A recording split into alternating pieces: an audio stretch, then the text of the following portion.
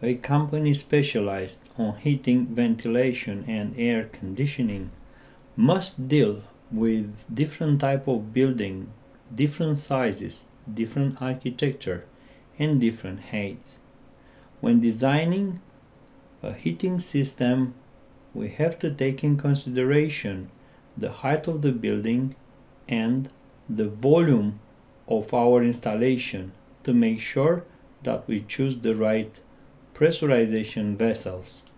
If you look at these buildings, you will see one of them is very tall. One, it's a little bit larger. So the tall and the very larger one got the same volume, yet we have to consider different aspects when design the heating system.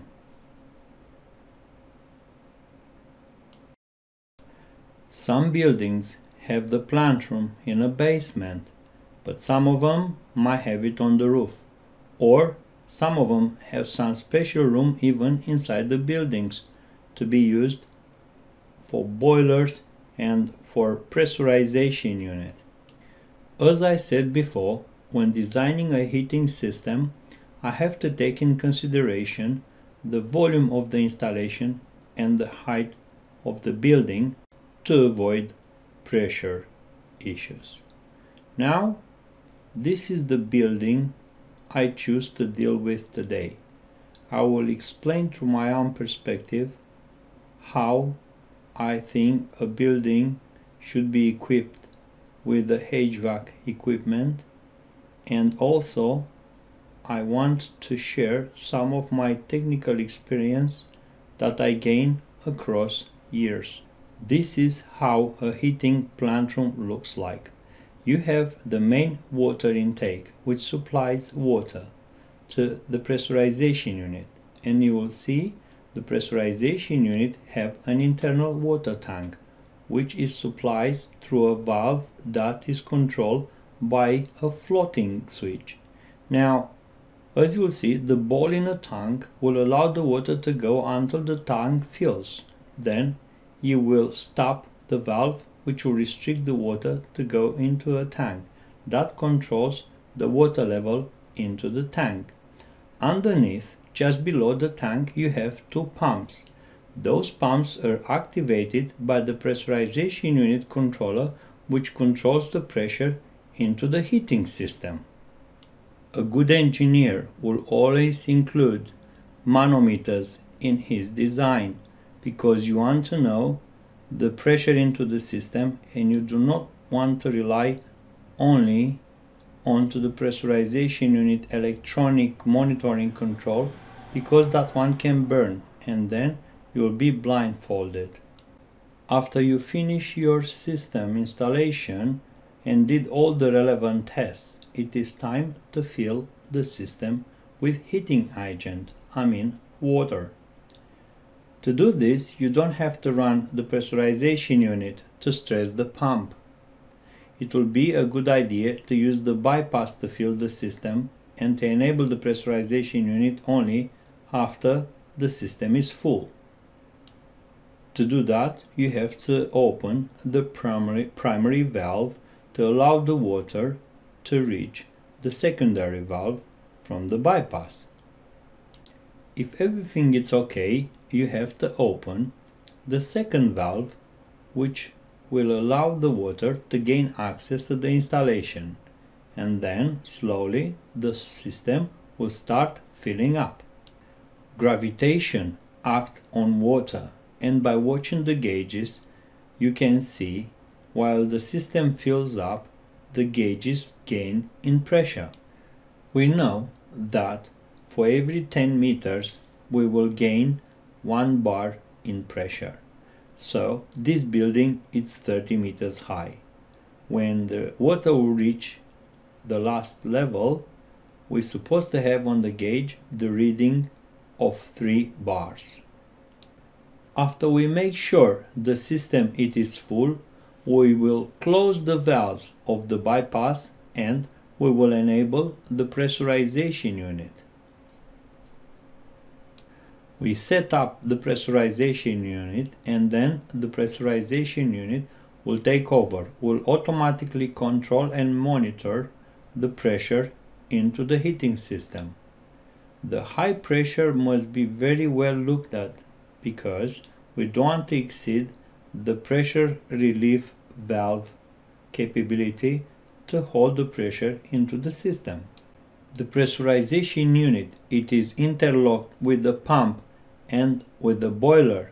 So when the pressurization unit will read the correct pressure, then will enable the pump and will enable the boiler as well. Then the boiler start working. Slowly the heating agent start to heat up. The pressure will increase as well on the flow and on the return. The pressure vessels are pressurized at 3.3 bars and as the pressure into the system reached 3.3 bars, the pressure vessels will start working if the pressure will increase further. We all know that there is a relation between the temperature, pressure and volume and because the temperature rose at 70 degrees Celsius, the water expands and if the volume cannot be increased, then the pressure will be increased. In our case, the well-designed pressure vessels will absorb the extra volume generated by the heating process. So the pressure vessels will allow to the water volume to increase or decrease as per heat demand.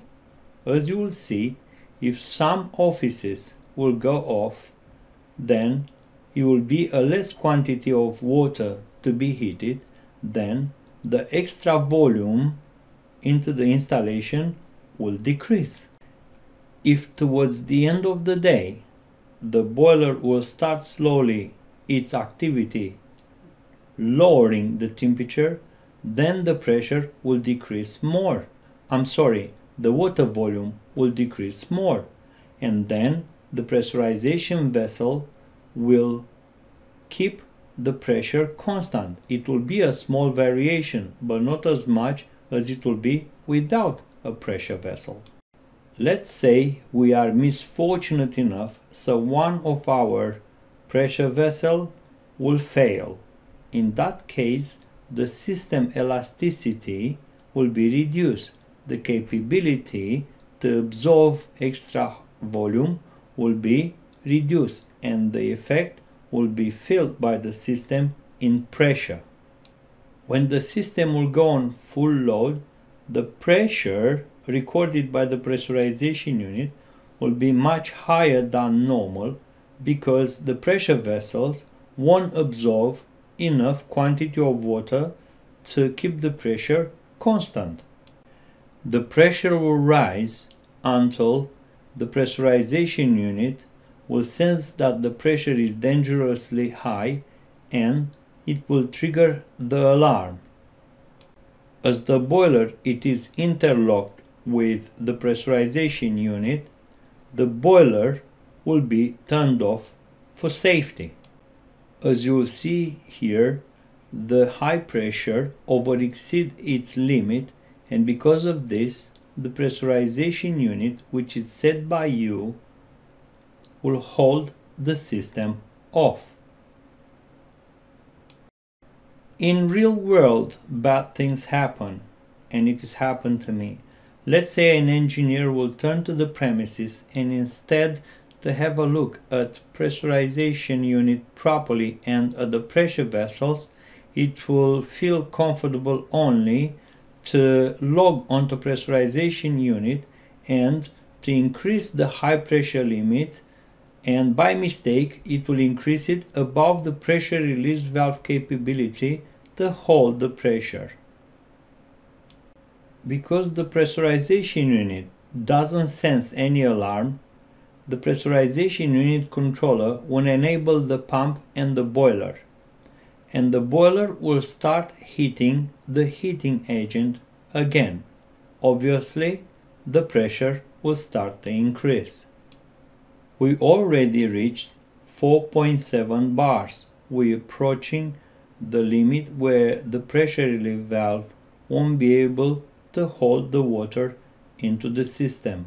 Also, the pressure vessels are stressed to the maximum. The critical pressure has been reached. The pressure vessels cannot swallow more volume and the bellows inside are excessively pressurized and some of them might fail. So the system will lose more elasticity. Minutes later, the pressure went over 5.1 bars, which means the pressure release valve can be activated at any time. Finally, the pressure release valve has been activated. Water is pouring in a plant room, a lot of steam, and sometimes even the fire alarm can be triggered.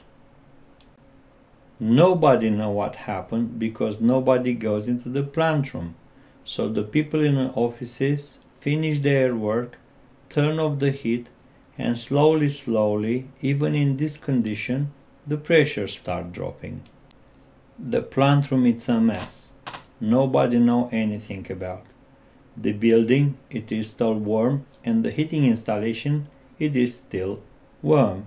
But the pressure goes down and there's no more water coming from the boiler. However, the plant room, it is full of water. So now the installation gets cooler and cooler. Finally, the end of the program. The boiler turn off, the pump turn off, and when this happen, the pressure into the system, which has not been yet compensated by the pressurization unit, goes very low. The pressurization unit sense the low pressure and it start refilling the system until it reached the normal pressure. When the system reached 3.3 bars as per the settings which we choose when you design the system, the pressurization will stop. The second morning, the boiler is turned on and the heating system start heating itself again. As the temperature raises, the gain in the temperature quickly goes up and it reach the point where the pressure relief valve start pouring again water in a plant room. The plant room is inundated. It is a mess. Nobody know because nobody went in a plant room. It is in a basement or above on the roof.